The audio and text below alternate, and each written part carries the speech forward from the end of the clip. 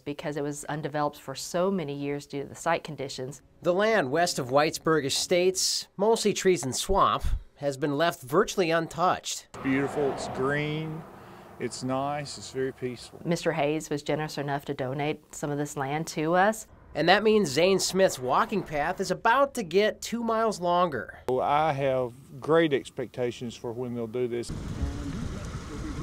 Right now, Haysland Road dead ends just beyond Grissom High School. Martin tells me they're going to spend the next two years extending this road all the way to Bell Mountain Park.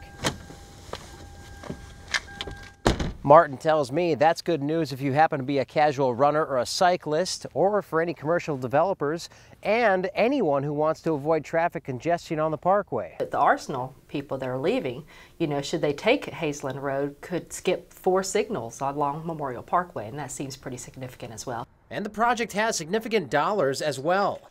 This week, Huntsville city leaders approved $7.5 million to build the two mile stretch starting within the next few months. In Huntsville, Joel Porter, WHNT News 19.